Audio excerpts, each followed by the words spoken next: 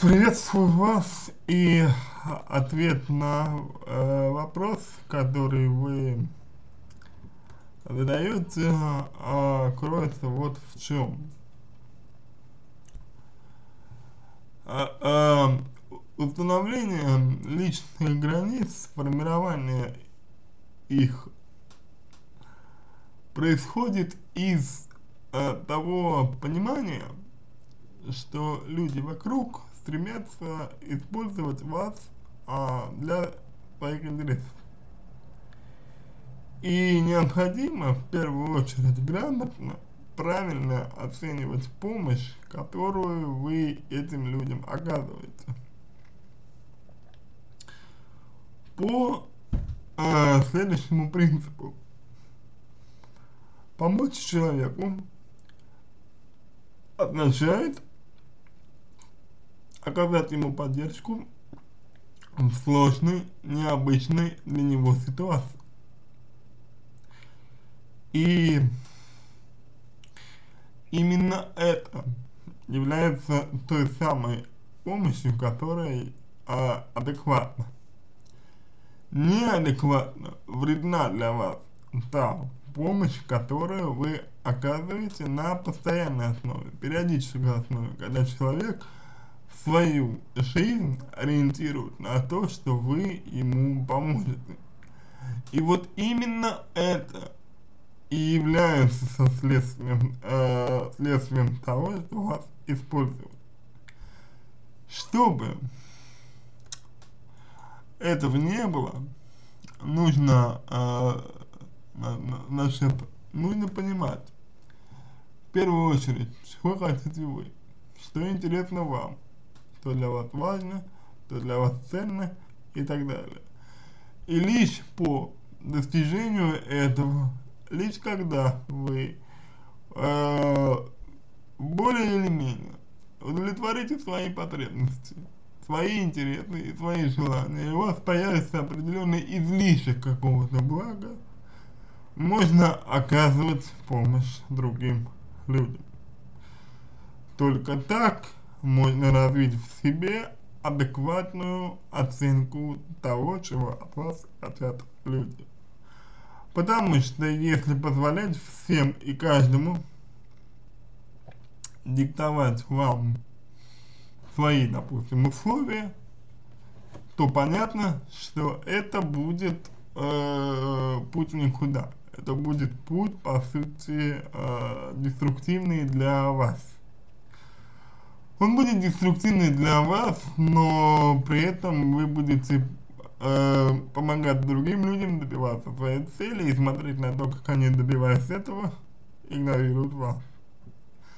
Действуя же таким образом, вы создаете ценность для своей помощи, Человек знает, что если обратиться к вам за помощью, вы ему поможете, то это, то это будет означать, что вы цените то, что вы делаете, а не даете этому человеку просто так, легко.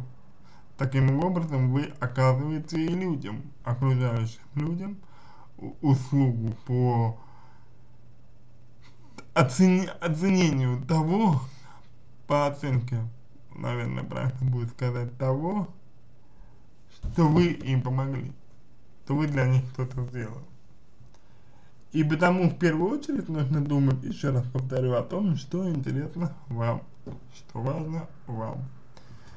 Далее, наверное, нужно сказать о том, что общество всегда заинтересовано в том, что вы действовали в его интересах в первую очередь. И уже только потом в своих. Общество, как и любой э, образованный человеком институт действует таким образом, таким образом, что человек. И в первую очередь ориентирован на то, чтобы сохранить жизнь себе, а уже потом своим членам. И, соответственно, вам необходимо э, не обращать внимания на те требования общества, которые э, вам навязывают без, э, ну, без критического отношения. Понятно, что нельзя нарушать закон, понятно, что нельзя идти против людей, против устоев, но можно защищать свои собственные интересы. И это именно то, что вам нужно делать. Так, понимая это, вы всегда будете различать свои интересы и интересы других людей, ставить свои интересы в приоритет до тех пор, пока вы не встретите любимого человека. Конечно, родные люди здесь являются исключением, потому что родные люди на то и родные, что их интересы вам важны. И а все остальные, кто входит в неограниченный круг тех, с кем вы общаетесь, они э, нуждаются в вашей помощи, в принципе, все и всегда, особенно если вы будете им предлагать. Но помогать им нужно только без ущерба вам. Далее, если э, говорить о том, э, почему, допустим, вы э, помогаете другим людям. Вот вы говорите, что добрый, восприимчивый, эмоциональный и так далее. Это свидетельствует о том, что у вас есть потребность. Потребность в том, чтобы вас оценивали. Потребность в том, чтобы вас признавали, вас хвалили. Происходит это из-за неуверенности в себе. Неуверенность в себе нужно убирать путем решения комплекса, путем избавления от комплекса путем повышения собственной самооценки, значимости, ценности, уважения, любви.